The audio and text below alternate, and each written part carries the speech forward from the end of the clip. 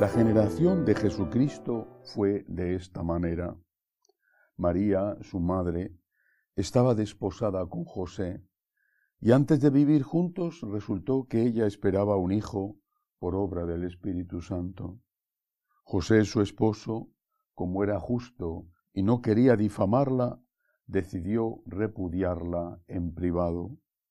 Pero apenas había tomado esta resolución, se le apareció en sueños un ángel del Señor que le dijo, José, hijo de David, no temas acoger a María tu mujer, porque la criatura que hay en ella viene del Espíritu Santo.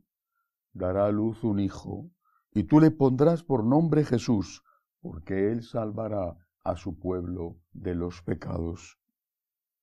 Todo esto sucedió para que se cumpliese lo que había dicho el Señor por medio del profeta. Mirad, la Virgen concebirá y dará a luz un hijo y le pondrán por nombre Emmanuel, que significa Dios con nosotros. Cuando José se despertó, hizo lo que le había mandado el ángel del Señor y acogió a su mujer. Palabra del Señor. Gloria a ti, Señor Jesús. Una de las tareas de los ejercicios que he recomendado para el Adviento es la oración de contemplación. Una contemplación que se hace representándose a uno mismo utilizando la imaginación y basándose en las escrituras, aquello que ocurrió, lo que sucedió cuando tuvo lugar la encarnación, cuando tuvo lugar este momento en que hoy meditamos en el Evangelio, o cuando tuvo lugar el viaje a Belén, o cuando tuvo lugar la llegada a Belén, en fin, todo el relato del nacimiento del Señor. Sin ese ejercicio de oración contemplativa, no podemos entender y valorar lo suficiente aquello que tuvo lugar en aquella primera Navidad. Por ejemplo, el detalle que hoy nos cuenta San Mateo. Nos dice que la Virgen María estaba, dice exactamente, dice, desposada, con José desposada. Y añade, antes de vivir juntos. Es decir, ella mantenía su virginidad, pero había habido una primera parte del matrimonio no sé cómo denominarlo, eh, que pueda ser equiparable a nuestras costumbres, sería algo parecido a lo que llamamos una promesa, estaba prometida con José, era más que una promesa, estaba casada en la primera parte del matrimonio, pero aún no se había consumado el matrimonio, tenía dos etapas, la promesa o desposorio y después cuando ya se casaban y se iban a vivir juntos. Esta segunda parte no había ocurrido. Pero para las esposas, las desposadas, eh, se exigía ya la fidelidad. En esa primera etapa del matrimonio, la desposada, la prometida, tenía ya que ser fiel a su futuro esposo, a su desposado, a su prometido. Se le exigía la fidelidad y el castigo que la ley judía reservaba para la mujer que en esa etapa y por supuesto después del matrimonio fuera infiel, fuera eh, adúltera al desposado, al prometido o después del matrimonio al esposo, el castigo era morir lapidada. Eran apedreadas, se las sacaba fuera de la aldea, y se las apedreaba hasta que murieran. Ese era el castigo que sufrían las adúlteras.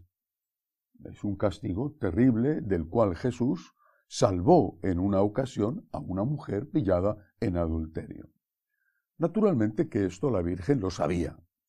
Lo sabían todas las mujeres de Israel y formaba parte de lo que una niña aprendía, eh, pues que se lo contaría su mamá o su abuela o sus amigas.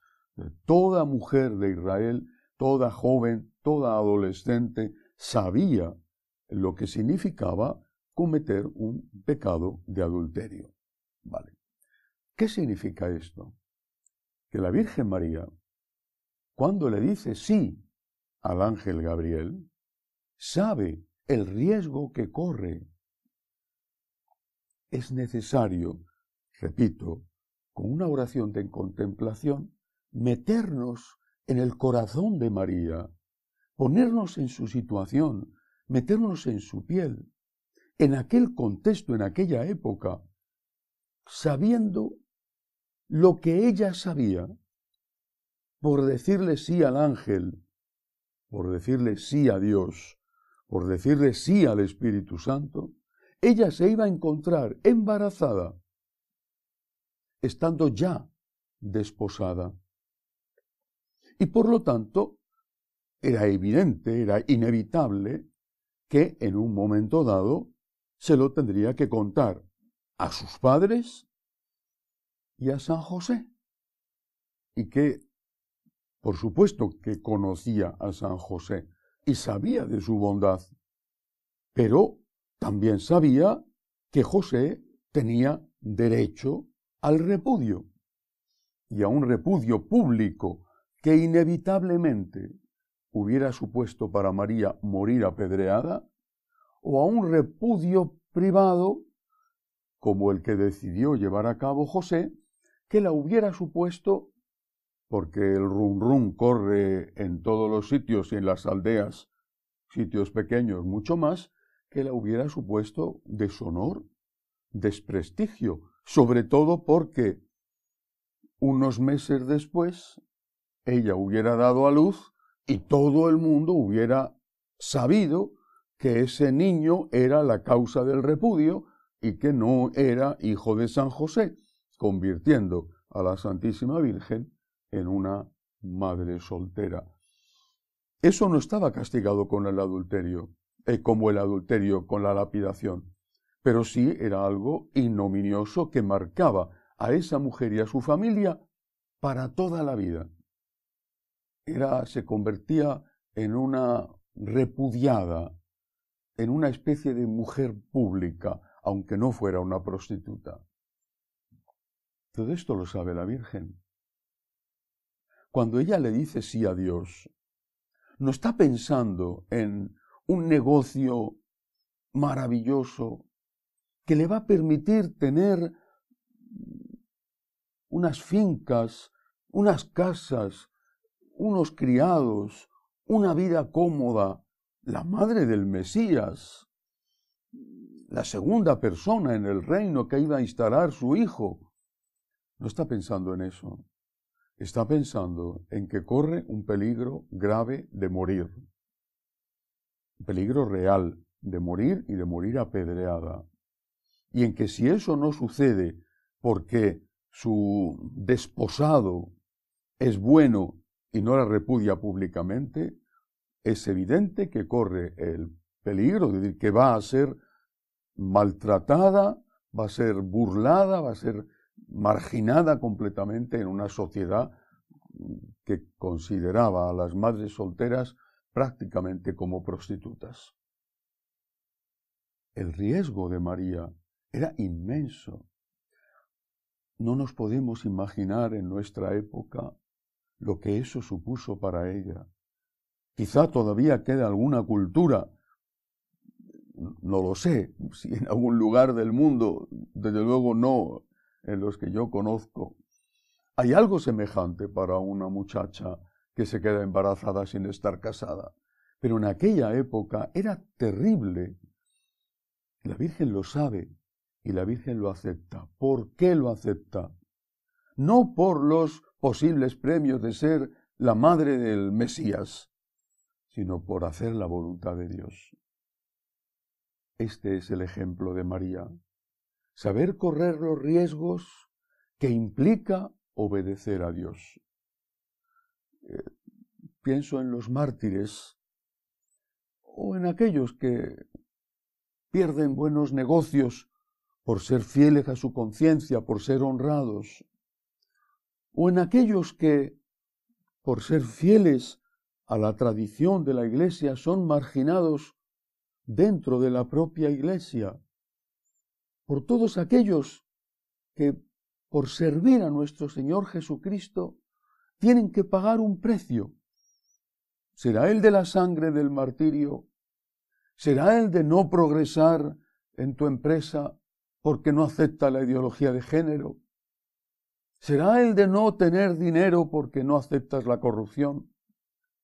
¿O será el de no tener un puesto más importante dentro de la Iglesia porque te mantienes fiel a las enseñanzas de nuestro Señor?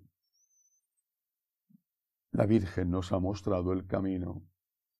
Primero Dios, con todas las consecuencias.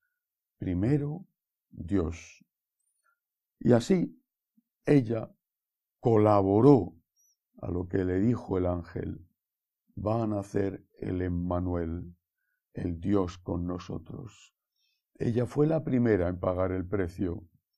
Dios tuvo la iniciativa, pero ella fue la primera en pagar el precio de la encarnación. Corrió el riesgo.